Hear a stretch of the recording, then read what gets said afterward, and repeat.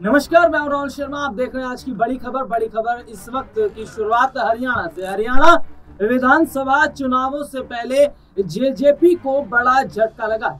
JJP प्रमुख दुष्यंत चौटाला ना कुछ कह पा रहे, ना कुछ बयान वो दे पा रहे। जेजेपी के चार विधायकों का टूटना, उनका इस्तीफा देना और बीजेपी के संपर्क में होना, ये सीधे तौर पर बताता है कि मैच शुरू भी नहीं हुआ और पहले ही आउट हो गए इनिंग से बाहर हो गए। जी हाँ दुष्यंत चौटाला।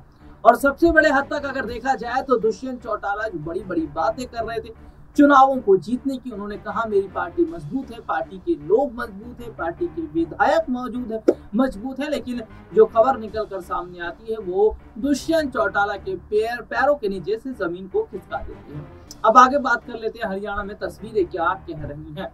दरअसल देखा जा रहा है कि हरियाणा में जहाँ ये माना जा रहा है कि कांग्रेस की तरफ़ से भी तैयारियाँ जोरों शोरों से है। दीपेंद्र हुड्डा का ज़िक्र कर लेते हैं।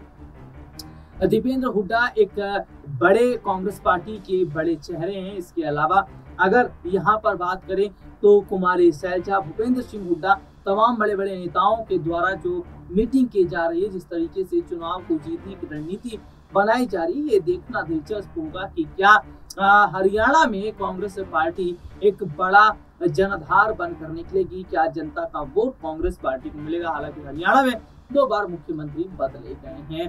जी हाँ मुख्यमंत्री मनोहर लाल खट्टर को हटाया गया, नायब सिंह मुख्यमंत्री बनाया गया। तो वहीं उस दूसरी तरफ़ देखा जा रहा है कि गोपाल कांडा की चर्चा भी बहुत जोरों, शोरों से चल रही है। अब आने वाले वक्त में देखना होगा कि हरियाणा की तस्वीर क्या कह रही है और क्या हरियाणा का विधानसभा चुनाव वाकई इस बार दिलचस्प होने वाला है।